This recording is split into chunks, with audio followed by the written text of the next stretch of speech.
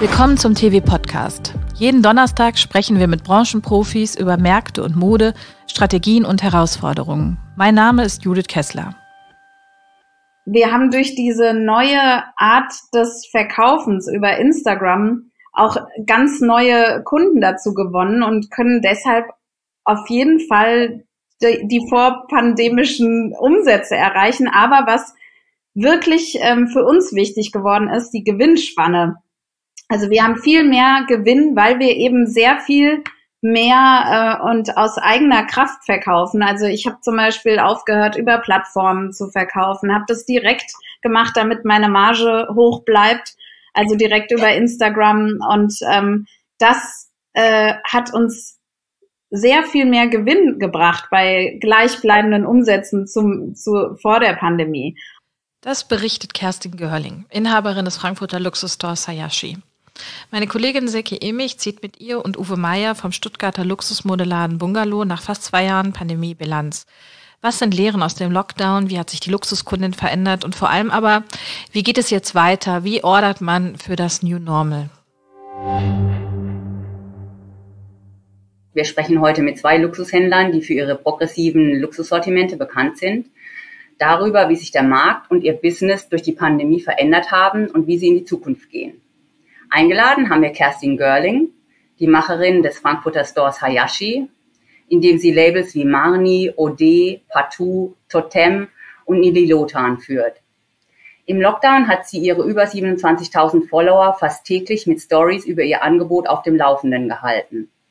Auch jetzt noch gibt es regelmäßig Stories, in denen sie ihren Abonnenten Lust auf neu angekommene Looks macht. Von Frankfurt gehen wir dann nach Stuttgart, Dort führt Uwe Meyer seine zwei Bungalow-Stores. Einen für Menswear und einen für Womenswear. Zu seinem Konzept gehört auch ein eigener On Online-Shop. Das Sortiment zählt auch bei ihm High-End-Labels wie Celine, Chloe, Jill Sander, Ulla Jonsson und Zimmermann. Uwe hat 16.500 Follower auf Instagram. Herzlich willkommen, ihr beiden, und vielen Dank, dass ihr Zeit für uns habt. Vielleicht können wir mit einer ganz einfachen Frage oder vielleicht auch einer schwierigen Frage anfangen. Ähm, die Pandemie hat ja vieles durcheinander gebracht, vieles auf den Kopf gestellt. Ähm, wie hat sich denn euer Business durch die Pandemie verändert? Was war so die größte Veränderung oder die tiefgreifendste Veränderung? Kerstin, willst du mal anfangen? Ja, also ähm, das war natürlich ganz klar, es wird erstmal alles auf Null gefahren, denn ähm, wir mussten ja schließen und das über mehrere Monate. Man kann sich das jetzt schon wieder gar nicht mehr vorstellen, wie das war. Auf jeden Fall ein riesiger Schock. Und ähm, dahingehend hat sich natürlich einfach erstmal alles verändert. Das heißt, man musste sein Unternehmen komplett umkrempeln, überdenken und musste auf äh, seine Community, die man ja vorher aufgebaut hat, äh, Gott sei Dank, über jetzt bei mir sind es 15 Jahre, zurückgreifen und äh, mit denen kommunizieren. Und zwar auf eine neue Art und Weise, ähm, viel intensiver als vorher digital und hat dann eben alles verändert. Seine ganze äh, Ansprache musste ja digital, äh, musste digital werden. Und man hat gemerkt, dass, naja, in so einer Pandemiezeit braucht ja niemand wirklich was. Und da galt es noch mehr als zuvor, ähm, eben diesen Demand beim Kunden zu erzeugen, also Träume zu verkaufen, die man dann, ähm, ja, die man eben auch dann digital wieder ähm, umsetzt. Träume verkaufen, Uwe, war das auch dein Motto während des während der Lockdowns oder was war für dich die größte Herausforderung? Also äh, grundsätzlich finde ich das glaube ich, schon auch grundsätzlich unseren Job irgendwie, dass wir schon immer so ein bisschen Lust machen auf natürlich Dinge, die man vielleicht gar nicht so zwingend braucht. Ähm, aber ich wollte erstmal Kerstin noch kurz recht geben, weil also dieses vorgeschriebene Zumachen von einem Laden, also ich glaube, das hätten wir uns niemals vorstellen können vorher, dass das mal passiert und dass wir da in so eine Situation kommen, dass wir fremd diktiert werden und praktisch unserem Job nicht mehr nachgehen können. Ähm, das war schon krass. Also das war echt eine, eine krasse Erfahrung. Ähm, aber dann wieder schnell irgendwie agieren und schnell den Kontakt suchen zu, seinen, zu seiner Kundschaft und zu seinem Klientel. Ähm, war echt spannend irgendwie, was, was man da für Varianten gefunden hat. Also wir haben dann Live-Shopping gemacht zum Beispiel. Wir haben zum Live-Shopping eingeladen und hatten echt auch eine coole Audience. Macht ihr das jetzt auch noch weiter? Also Live-Shopping so in diesem, in diesem Ausmaß, wie wir das da betrieben haben, machen wir nicht. Aber tatsächlich ist es tatsächlich so, dass es natürlich auch, also der, der Kommunikationsweg, der, das Interaktive, das geht relativ schnell. Und dass die Kunden reinkommen und sagen, okay, hey, ihr habt, ich habe hier auf Instagram gesehen und bla bla bla, ihr habt neue Mützen von Akne da und äh, also das sind alles Dinge, ganz ehrlich, die, die echt gut funktionieren. Ähm, und ich, ich glaube, was, was Kerstin auch noch, noch, noch, noch sagen wollte, ist, glaube ich, dass diese, dieses Gesicht oder diese, dieses Statement, dass man eine eigene Idee von dem hat, was man da macht, ähm, das ist, glaube ich, so ausschlaggebend. Also nicht irgendwie nur Instagram machen und ein paar Bildchen hochladen, sondern ich glaube, wichtig für den, für den, für den Kunden oder für den Endverbraucher ist, dass du halt für was stehst. Und ich meine, das hat Kerstin super zelebriert. Das hat die wirklich fantastisch gemacht, weil es eben auch Kerstin ist und sie ist Nein, sie ist wirklich so, wenn man sie kennt, weiß man, okay, das war so charmant und, und, und, und so, so, so, so nett gemacht und die hat auch eben aus, aus Mode hat sie eben auch Spaß gemacht und nicht irgendwie, keine Ahnung, das war jetzt kein Modepüppchen, das da hingestanden ist und gepostet hat, sondern sie hat das ganz arg charmant gemacht und da hat sie ihre Community gebildet und ich glaube, das ist so das Ausschlaggebende für Instagram. Aber könnt ihr vielleicht beide nacheinander nochmal sagen, wie es gelingt, das Wissen besonders zu machen und sich abzuheben, worauf es da ankommt und wie ihr das vielleicht auch für die Zukunft weiterentwickelt? Das ist äh, ein bisschen langweilig, aber es ist doch immer wieder die Antwort, ähm, man muss authentisch sein. Also man kriegt ähm, und vielleicht auch ein bisschen kameraaffin und dass man ähm, natürlich ist äh, und natürlich sprechen kann und sich ähm, äh, ja, man erkennt, wenn das äh, demjenigen Spaß macht. Also es ist oft so, dass manche fangen mit Instagram an und das ist eher ein Autounfall dann. Und man denkt, oh Gott, also die tun sich gar nichts Gutes. Also man sollte schon immer reflektiert an diese Sache rangehen und vielleicht auch ähm, sich das selber auch nochmal anschauen, was man da macht. Und wenn man jetzt sehr verklemmt vor der Kamera ist, dann denkt man, oh, die, also der, der, der Zuschauer bildet sich ja eine Meinung dann. Deshalb sollte man dann natürlich so authentisch wie möglich rüberkommen und eben ähm, Spaß an der Sache haben. Wenn nicht, sollte man natürlich Leute finden, die Spaß daran haben und äh, die bezahlen dafür, dass sie es machen. Hm. Stichwort Online-Shopping. Uwe, du hast ja ähm, nicht nur dieses Live-Shopping gemacht, du hast ja auch einen Online-Store. Ähm, welche Bedeutung hat der denn dann im Vergleich zu diesem Insta-Kanal? Der ist schon deutlich gewachsen, ganz ehrlich. Aber jetzt ist natürlich das nicht so, dass man sagen kann, so, boah, ich kann jetzt alles auf Online shiften. Ähm, es gibt Produkte, die funktionieren sehr gut auf Online. Es gibt aber Produkte, die funktionieren eben, eben nur stationär. Also das ist schon die Erfahrung, die wir grundsätzlich gemacht haben. Ähm, also wie gesagt, wir finden uns nach wie vor noch in, in einem sehr guten Wachstum online, ähm, aber wir sind natürlich noch lange nicht da, wo wir sein wollen oder wo wir hinwollen online. Ähm, das heißt nicht irgendwie, dass wir irgendwie ein Mai Theresa sein wollen oder ein netter Portier werden wollen, um Gottes Willen. Aber wir wollen auch da unsere Nischen finden. Wir wollen auch da für uns irgendwie unsere, unseren, unseren Platz finden. Und in der Pandemie, der Online-Shop ähm, war insofern natürlich gut, weil das eben ein zusätzlicher Kanal war. Zu dem Instagram noch, zu den Leuten, die wir persönlich kannten, eben nochmal ein Kanal, wo eben auch konsumiert wurde, eben wo wir auch gesagt haben, okay, jetzt machen wir ein paar mehr Newsletter und kommunizieren auf dem Feld nochmal und telefonieren vielleicht auch mal mit den Leuten und, und schicken ihnen Links zu den Produkten und das war schon ein Vorteil. Aber würdest du sagen, der On, also Insta kann den Online-Shop ersetzen oder was wäre denn wichtiger? Nee, ich würde jetzt, ich, also für mich, also ich kann das ja nur für mich sagen, also für mein Konzept, ich finde beides super wichtig. Also Instagram ist mega, mega wichtig, weil das ist natürlich irgendwie so ein Kommunikations-, so ein schneller, schneller Zack, Zack, Zack äh, Kanal, wo, wo, wo man schnell irgendwie Reaktionen abfragen kann, auch von Kunden und ähm, Reaktionen bekommt auf, auf Dinge. Ähm, und online ist halt praktisch wie ein Laden, der einfach nur digital ist. Das ist praktisch auch nochmal eine Filiale für mich. Das ist nämlich auch so, dass ähm, was viele vergessen, dass so ein Online-Shop, ähm, wie der Uwe ihn jetzt zum Beispiel macht, das ist ein eine ganz, es ist ein eigenes Geschäft. Und ähm, ich werde natürlich, weil ich zum Beispiel jetzt sehr digital ansonsten bin, immer gefragt, ja, wo bleibt denn dein Online-Shop? Aber die Leute vergessen, mit, mit den Strukturen aus meinem Store könnte ich das gar nicht leisten. Also das ist nicht damit getan, dass man da jetzt einfach dann Päckchen packt und äh, los geht's, ähm, oder man schaltet den ähm, äh, online und dann äh, kaufen die Leute da wie verrückt. Das ist ja, ähm, diese Online-Shops sind auch, werden erfolgreich durch eine mathematische Gleichung. Da muss Werbung geschaltet werden, da muss ein Ranking und umso mehr Geld man da reingibt, umso schneller wird man gefunden, umso mehr Umsatz macht man. Das kann man wirklich mathematisch auch ähm, belegen.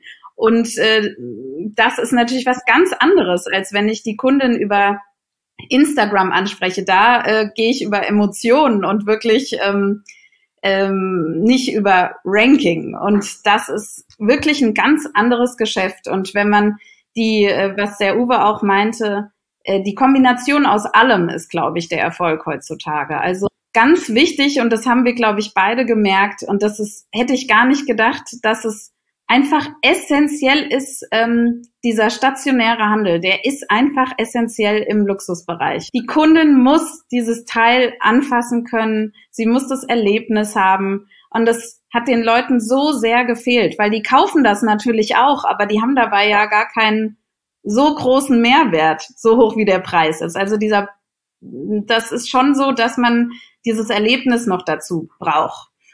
Sonst wird's wieder zurückgeschickt. Ja, und das ähm, hat uns, glaube ich, dann, als die Türen wieder aufgingen und auch jetzt einfach ist man so dankbar darüber, dass man das Produkt wieder live erleben kann.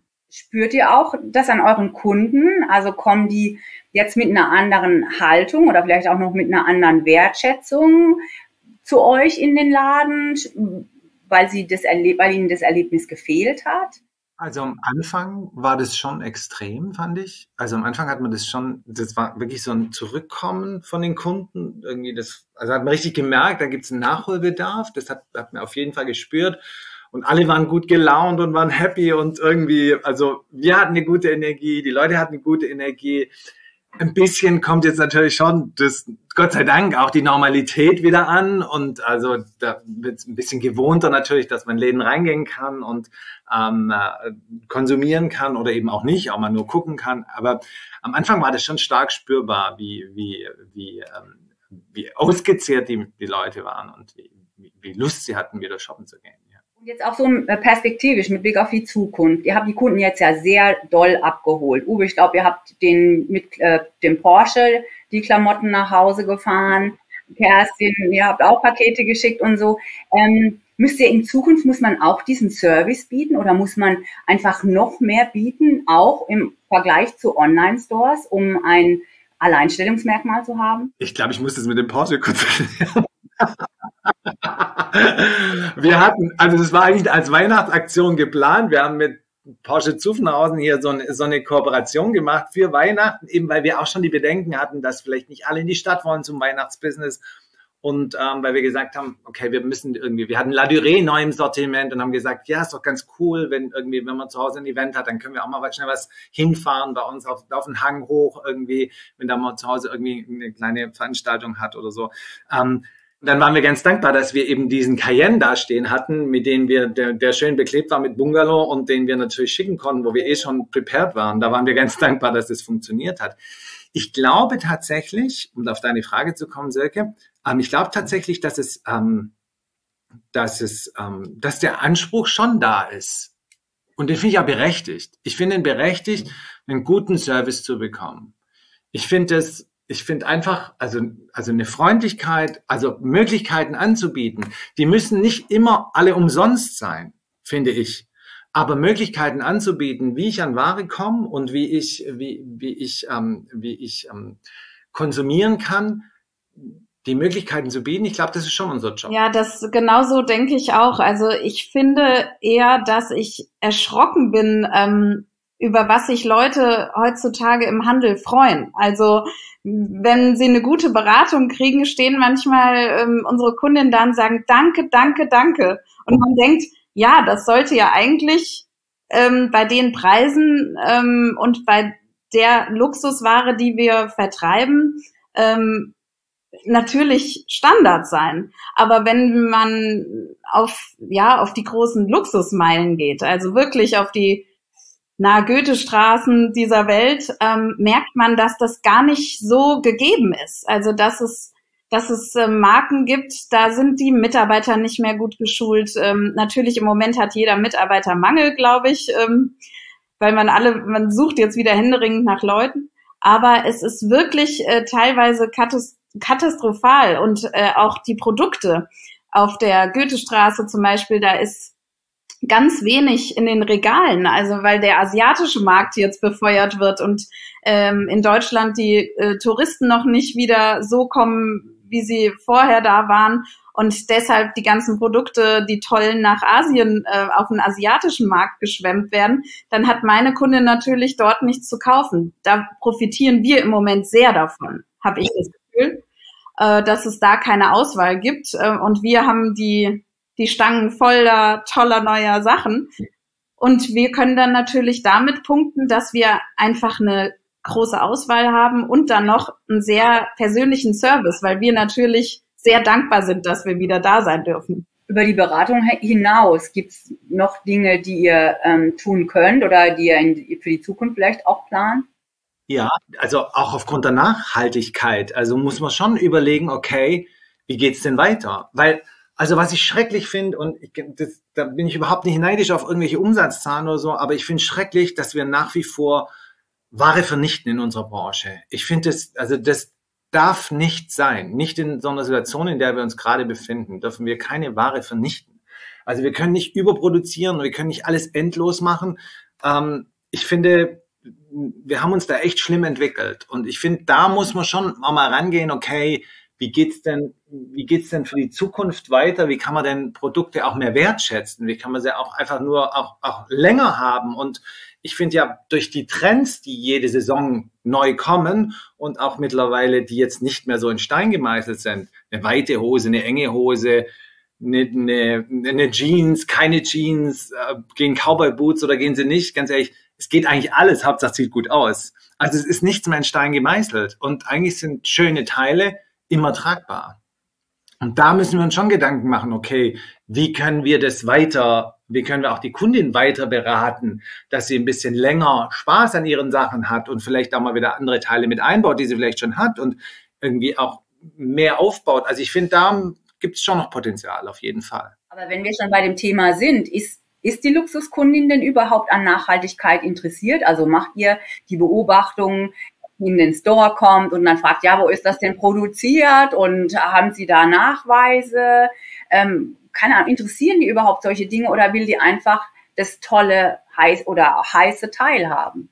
Hm, also also aktuell ist es tatsächlich, also bei uns jetzt nicht so wahnsinnig dran interessiert, gebe ich ehrlich zu. Aber ich finde, das muss ja auch nicht. Also es ist ja eher mein Ding, ganz ehrlich, und die des Herstellers, dass wir einfach sagen, okay, wenn du nachfragst, gebe ich dir die Info, aber ich drücke dir das jetzt nicht aufs Auge, nur damit ich es loswerde. Also ich finde ich finde schon wichtig irgendwie, dass wir uns, dass da jeder seine Verantwortung trägt. Und ich glaube auch, die Erwartungshaltung grundsätzlich sollte sein, dass es einfach Standard ist, dass es in irgendeiner Form nachhaltig ist. Ja, da sprichst du nämlich auch genau das an. Es ist ähm, wirklich schwer ähm, für uns Händler, also in die, die jetzt nicht diese Riesengiganten sind wie Amazon oder die ganz großen Brands, ähm, das von denen muss Initiative auch ausgehen, weil wie soll man das schaffen? Wir sind immer ähm, werden eingeladen, zum Beispiel in den Showroom und da sind diese Turnhall großen befüllten Kollektionen, das ähm, wir können daran ja dann nichts ändern. Also es muss schon von oben runter quasi ähm, weniger Ware in den Markt gebracht werden. Und dann, es bringt nichts, wenn wir dann weniger kaufen, weil wir müssen ja auch diese, dieses Bild, also wir müssen einfach alles abbilden. Die, die, die zehn Farben müssen gekauft werden, weil sonst sagt irgendwann die Kundin, nee, also bei Hayashi gibt's immer nur eine Farbe, habe ich keinen Bock drauf. Und ähm, geht dann in woanders hin. Und deshalb ist es irgend, irgendwie sehr schwer, von unten heraus das zu verändern.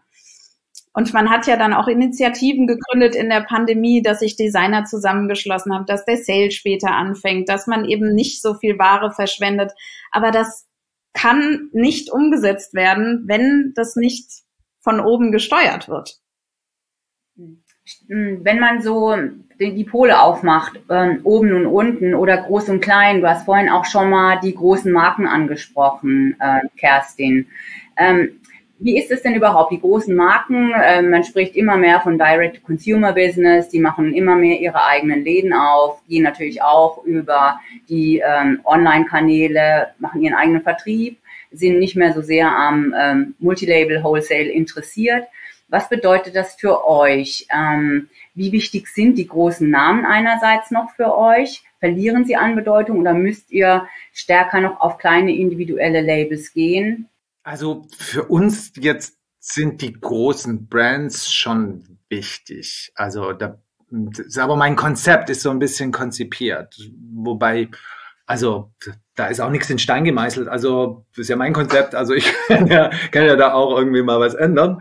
Aber grundsätzlich sind die großen Marken schon wichtig für uns, muss man schon sagen. Aber wir beobachten natürlich auch diese Entwicklung. Ähm, der Vorteil für uns ist, Knock on Wood, ist tatsächlich so, dass wir gern immer noch auf der Kundenliste gesehen werden bei den Designern. Die mögen schon, dass wir da draufstehen und das ist ein Vorteil, aber das kann, das Blatt kann sich ja auch mal relativ schnell wenden. Ähm, und also nichts ist schlimmer, als Unternehmer in eine Abhängigkeit zu geraten und in so einen Strudel zu geraten. Und natürlich ist es schön, und da achten wir schon auch drauf, dass das Sortiment spannend bleibt. Und es passiert natürlich viel, viel besser mit kleinen, frischen Marken die einen Wachstum haben und die eine, eigene, eine andere Energie haben und dann nicht alles, die flexibel sind und irgendwie mit einem zusammenarbeiten und eher partnerschaftlich, freundschaftlich arbeiten, das ist natürlich viel spannender oft ähm, ähm, mit solchen neuen Marken zu. Ja, ich denke auch, dass äh, man braucht die großen Marken, um so eine Basis zu haben, so ein Vertrauens zu kreieren. Also, weil natürlich, wenn man mit so großen Marken zusammenarbeitet, heißt es ja, man ist äh, von denen, ähm, naja, anerkannt oder ähm, also die wollen, dass, dass, dass ihr Produkt bei uns verkauft wird. Das heißt, ähm, die, der Kunde hat dann auch ein Vertrauen. Und dann kann man die kleinen Brands dazu nehmen on top und kann damit spielen. So sehe ich das immer so ein bisschen. Und ähm, natürlich ist, ähm, finde ich, aber trotzdem dieses direkt dem Kunden zu verkaufen der großen Brands ist natürlich hart für viele Händler. Also es kommt natürlich auch noch mal auf die Stadt an. In Frankfurt ist das ganz fatal. Also ich weiß, dass ähm, ähm, auch meine ähm, Kollegen, die auch äh, Stores dort haben und noch mehr im Luxussegment sind, immer Probleme damit haben. Auf einmal macht der Prada Store auf, Prada Men, Prada Women und schon dürfen sie Prada nicht mehr verkaufen und ihnen fällt so viel Umsatz weg und von heute auf morgen. Das ist natürlich eine harte Sache und ich hatte da auch gerade ein witziges Erlebnis. Ich wollte eine Marke einkaufen, ich sage jetzt den Namen nicht, ähm, und die haben gesagt, ja, ähm, ich müsste ihnen aber ähm, ähm, ich glaube, es war Prada und Celine liefern. Aber in Frankfurt kriegt gar kein ähm, Inhaber geführter Laden Prada und Celine, weil die ihre eigenen Stores da haben. Und ähm, weil ich direkt an der Goethestraße bin, dann habe ich zurückgeschrieben, ja, das geht ja doch gar nicht, weil die haben doch ihre eigenen Läden, deshalb kriegt das hier doch auch keiner mehr.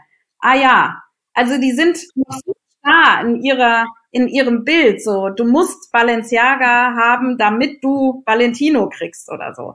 Also man kann wirklich mit so großen Marken ist es sehr schwer auch ähm, da kreative Konzepte aufzubauen, weil natürlich wäre es doch total schön, man könnte irgendwie Prada kaufen und hätte dann noch eine, ähm, eine kleine neue Marke dazu und könnte das mixen. Aber das ist natürlich so nicht mehr der Fall. Und das ist schon schade und hat natürlich die Mode grundlegend verändert, hat viel, viel ähm, auch getötet an Kreativität, muss ich sagen. Also das liegt natürlich auch an dem Vertrieb, das muss man schon auch sagen, was ich auch mega kritisch finde, ist natürlich, ich kenne das, ich das auch, das, was du gerade sagst, Kerstin, irgendwie das von, von, von Händlern verlangt wird, wenn du jetzt, keine Ahnung, Marke X will, muss daneben Marke XY hängen.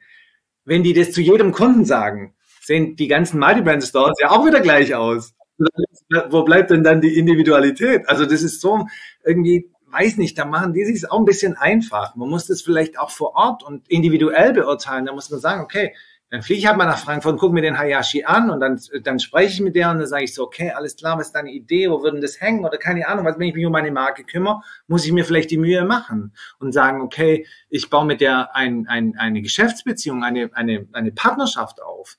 Ähm, dann wäre es schon auch ein bisschen sinnvoll, wenn man sich ein bisschen intensiver damit auseinandersetzt, wie jetzt nur zu sagen so, ja, pass auf, ähm, das ist das Budget, was ich von dir will, aber ich will die und die Marke möchte ich neben dir, neben meiner Marke hängen haben. Das ist, glaube ich, ein einfacher Schritt, den kann man sich bequem machen, solange es gut läuft. Wenn es dann mal nicht mehr so gut läuft, dann. Ja, das kennen wir wahrscheinlich auch beide. Ähm, dass dann im Nachgang auf einmal kriegt man eine E-Mail so, bitte, bitte, jetzt kannst du es doch haben, dann sagen wir, aber jetzt wollen wir nicht mehr. Das ist schon, ähm, es ist schon immer wirklich eine ganz andere Art und Weise der Arbeit, wenn man mit so großen Brands zusammenarbeitet. Aber verzichten könnt ihr ja nicht ganz darauf. Das habt ihr ja eben gesagt. Aber wie kann man dann Individualität kreieren? Oh, du hast gesagt, es ist nicht so leicht. Ähm, und wie ist dann auch die Gewichtung vielleicht von kleinen Marken, die man im Sortiment braucht? Na, man kann ja auch so, also wie gesagt, ich glaube, ich habe hier so ein bisschen eine spezielle Situation, glaube ich, in, in meiner Stadt. Ähm, man kann auch aus diesen Luxusmarken kann man so selektieren, dass man nicht zu sehr in die Vergleichbarkeit, Vergleichbarkeit kommt. Also was ich schon genau beobachte, und das ist mein Konzept, ich möchte eigentlich mit jeder Marke Geld verdienen. Das ist mein Business. Also ich will jetzt nicht in Schönheit sterben. Ich will damit Umsatz machen. Ich will natürlich schöne Dinge kaufen. Ich brauche ein bisschen Spaß dabei, aber ich möchte natürlich auf jeden Fall mit den Marken Umsatz machen. Und dann werde ich auch so ein Sortiment kreieren, das mir, auch mir persönlich und auch partnerschaftlich liegt, dann suche ich mir Marken aus, die mir eben sympathisch sind, wo, wo, gut, wo, wo ein gutes Miteinander stattfindet und trenne mich aber unter Umständen auch mal von Marken, wo das, also ich glaube, dafür bin ich auch, glaube ich, einigermaßen bekannt dafür, dass ich das mache, dass ich mich auch von Marken verabschiede, die, ähm, die vermeintlich draußen sehr nachgefragt sind, aber wo ich einfach sage, okay, mir gefällt die Politik nicht der Firma und das Geld für den verdienen wird auch schwierig, weil weil ähm, irgendwelche Discounts in Online-Shops zugelassen werden und äh, keiner sich kümmert und für, für, für mich ähm, wird das Leben immer schwerer mit der Marke dann verzichte ich lieber drauf. Ja, ich denke auch, dass man so bei den kleinen, kleineren Brands, die haben wirklich immer noch eine Chance. Und ich glaube, Uwe und ich, wir schließen uns oft kurz und äh, besprechen, was gibt's Neues, was hast du gesehen und was habe ich gesehen. Aber wir sind manchmal, jedenfalls geht's mir so, es kommt gar nicht so viel Neues nach, was Substanz hat. Also ähm, was, wo man wirklich sagt, okay, da stimmt die Marge, dass man damit Geld verdient, da stimmt die Kreativität und auch die Abwechslung. Das heißt, wenn eine Kollektion so aussieht, dann müsste die andere dann doch ähm, was Neues bringen. Ähm, und äh, das ist natürlich auch sehr wichtig, äh, dass man eben gute Geschäftsbeziehungen aufbaut. Und man will natürlich auch lange Geschäftsbeziehungen aufbauen, weil man, ähm, wenn man immer der Erste ist, und das müssen wir ja oft sein, ist es gar nicht so leicht, wie die zum Beispiel jetzt der Endkonsument sich das vorstellt, weil wir müssen die Marke aufbauen. Wir müssen mit Produktionsschwierigkeiten, die die noch haben, zurechtkommen. Ähm, also man muss die ja teilweise auch an der Hand dann nehmen und muss mal sagen, wie das auch im Handel dann funktioniert, wenn man in der ersten Saison ist. Und ähm, das ist schon sehr viel schwerer als eine Marke, die schon, äh, die schon ewig da ist, wo man weiß, die haben gute Produktionsstätten, da, da sitzt die Qualität, ähm, wenn man da einfach aufspringt auf den Zug.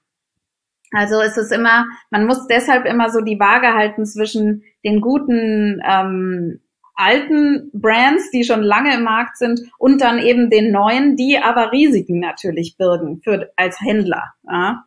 Und apropos gut funktionieren, ähm, wie ist es denn aktuell so im Business oder wenn man jetzt mal auf das ganze Jahr guckt? Ähm, wie geht ihr raus aus diesem Jahr? Hat man denn die Krise schon komplett überwunden? Also, also liegt man schon wieder auf vorpandemischem Niveau oder kann man gerade so das äh, 2020er Jahr einholen? Ähm, wie ist die Entwicklung bei euch im Business? Also wenn ich jetzt mal starte, ich ähm, muss wirklich sagen, ähm, wir haben durch diese neue Art des Verkaufens über Instagram auch ganz neue Kunden dazu gewonnen und können deshalb auf jeden Fall die, die vorpandemischen Umsätze erreichen. Aber was wirklich ähm, für uns wichtig geworden ist, die Gewinnspanne. Also wir haben viel mehr Gewinn, weil wir eben sehr viel mehr äh, und aus eigener Kraft verkaufen. Also ich habe zum Beispiel aufgehört, über Plattformen zu verkaufen, habe das direkt gemacht, damit meine Marge hoch bleibt, also direkt über Instagram. Und ähm, das äh, hat uns sehr viel mehr Gewinn gebracht bei gleichbleibenden Umsätzen zum, zu, vor der Pandemie. Und das macht mich total glücklich, ja, dass das äh, möglich war. Also man sieht auch durch so eine Krise, die wirklich, ähm, man kann nicht mehr von back to normal, wir werden niemals wieder back to normal. Also so ein Ereignis, das ist so einschneidend, das hatte ja unser ganzes Denken und Mindset hat das verändert. Aber ähm, durch so eine Krise, die so schrecklich war, konnte man aber, hat man sein Unternehmen ganz neu ähm, wieder aufgestellt und hat, äh, hat wirklich äh, ausgemistet quasi, hat geguckt, okay, wo kann ich noch mehr rausholen, was äh, was ähm, drückt mir die Marge etc. Was, was passt nicht mehr für mich? Welche Kollektion ist nicht mehr okay? Und ähm, da hat man dann doch vielleicht sogar ganz unterm Strich äh, ein besseres Unternehmen aufgebaut, als man vorher war. Und was bedeutet das für die Order? Ihr habt jetzt auch schon äh, den Einkauf angesprochen. Die neue Orderrunde steht ja kurz bevor. Die ersten Pre-Collections werden jetzt Ende Oktober, Anfang November stehen ja oder wieder zur Order. Da müsst ihr nach Paris oder Mailand. Ähm, wie geht ihr mit den Budgets um? Zuletzt wurden die Limite sehr häufig gekürzt, klar, mit der Angst vor weiteren Lockdowns. Davon gehen wir jetzt erst ja nicht mehr aus. Wie geht ihr in die Einkaufsrunde? Na, ich glaube, wir sind alle so ein bisschen sensibel, glaube ich, grundsätzlich. Aber also einen Igel habe ich jetzt nicht in der Tasche. Ich überlege mir natürlich schon, ähm, was ich kaufe und was Sinn macht. Ein bisschen natürlich im Hinterkopf hat man natürlich schon, was jetzt letztes Jahr und dieses Jahr mit diesem Lockdown passiert ist. Und natürlich gehen wir nicht davon aus, dass es nochmal passiert, aber you never know. Ähm, ein, ein, flexibles Sortiment, eine gute partnerschaftliche Beziehung, ähm, aber auf gar keinen Fall ein langweiliges Sortiment ähm, ist echt wichtig. Also es ist schon gut, wenn man die Augen offen hält und schon auch gut, deswegen, was Kerstin auch schon gesagt hat, irgendwie wir tauschen uns da schon regelmäßig auf und sagen, sagen so, hey, da musst du mal hingucken oder werf doch mal einen Blick hin oder also es gibt schon Dinge irgendwie, die, die, die man, die, die man wie ein Trüffelschwein suchen sollte, wenn man, wenn man dann eben glücklich wird, aber mit einer Überzeugung kaufen sollte und nicht vielleicht, wie man es vielleicht im Vorfeld vielleicht mal gemacht hat, dass man sagt, okay, das probiere ich jetzt mal aus. Ich bin zwar nicht hundertprozentig davon überzeugt, aber ich probiere es mal aus. Ähm, das, da ist die Zeit jetzt gerade nicht dafür. Aber ich finde trotzdem, man muss offen bleiben und ähm, auch wieder der Vorteil der Selbstständigkeit, dass wir natürlich das entscheiden können, ob wir jetzt nochmal ein Budget erhöhen oder nochmal was freimachen, weil wir dran glauben oder weil wir glauben, okay, wir können tatsächlich mehr Umsatz erzielen mit einer neuen Kollektion. Ähm, das liegt ja an uns. Also das können wir entscheiden. Ja, also bei mir ist es auch so, ich gehe ähm, mit vollem Budget wieder an die Sache ran, wie ich auch äh, schon jetzt während der Pandemie auch trotzdem gekauft habe. Weil wenn, wenn man anfängt und streicht bei so einer, wir sind ja relativ ähm, in diesem großen Ganzen doch recht klein noch als Händler, ähm, wenn man da seine Budgets kürzt auf dramatische Art und Weise und dadurch dann ein sehr langweiliges, extrem aussortiertes äh, Geschäft dann, also Kollektionen nur zeigt, dann äh, ist ja schon vorprogrammiert, dass man keinen Umsatz macht. Also um Umsatz zu machen, braucht man, muss man Budget einsetzen. So ist und man kann nicht kann nicht anfangen jetzt da äh, zu sparen, weil das ist unser Geschäft. Also was sollen wir denn sonst äh, machen, aus, als äh, davon ausgehen, dass es alles gut wird. Also ihr würdet sagen, äh, von Budgetseite her eher ein bisschen mehr Gas wieder. Ähm, was bedeutet das für den Look? Ich meine, über die Mode haben wir überhaupt noch nicht gesprochen. Jetzt waren wir irgendwie ein Jahr lang im Jogginghosen Nirvana. Ähm, ändert sich der Look? Wird es wieder schicker? Was beobachtet ihr aktuell schon bei den Konsumenten und so perspektivisch für die Orderrunde? Auf jeden Fall wird schicker. Aber, aber ähm, ich glaube jetzt nicht von 0 auf 100. Ich glaube jetzt nicht, dass wir alle in Smokings durch die Städte laufen und die Mädels mit High Heels. Das wird schon, also es wird ein Prozess sein. Aber ich glaube, ich glaube schon, dass es auf jeden Fall wieder angezogener wird. Das kommt ich feiere das, ich finde es super, ganz ehrlich, wenn, wenn die Qualitäten nach oben gehen und wenn der, der Look auch mehr wieder über, über Qualitäten und, und ähm, Verarbeitung geht ähm, und nicht nur über, über Dinge wie Farben und, ähm, und, und Prints ähm, und vielleicht auch Logos.